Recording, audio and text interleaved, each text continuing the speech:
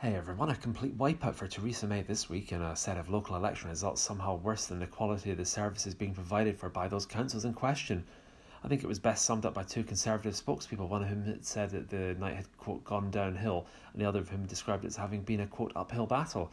That wordplay is the sort of disconnect you'd expect, though, the Prime Minister believing that the public are annoyed at her repeated failure to get a Brexit deal where we get to stay part of the EU the party could have lost yet another thousand councillors, but the numbers are really irrelevant now. It's like trip losses during the First World War. And explaining the true situation at this stage is like trying to explain how ironing boards get wrinkles in them.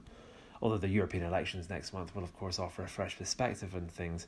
It's like that old Rudyard Kipling poem about how's it go? If you can hold your head whilst others around you are losing theirs, then perhaps you've not fully grasped how serious the situation is.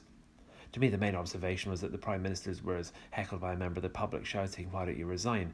And while the protester was removed and Mrs May's supporters, whoever they are these days, shouted, Out, out, out, the Prime Minister actually thought they were shouting at the heckler. The Prime Minister's sole existence and purpose for office now is to force the UK into some kind of deal, however diluted, that enables it to continue paying money to Brussels in order to avert the supposed economic disaster promised if the UK were to leave.